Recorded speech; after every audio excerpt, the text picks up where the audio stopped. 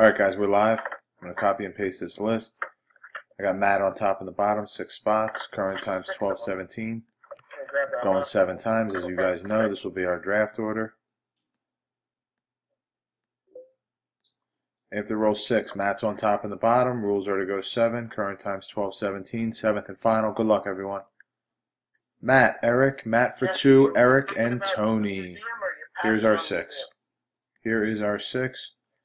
Here is our six. I'm going to copy and paste this into the. Uh, we went seven. Rules are to go seven. 12, 18.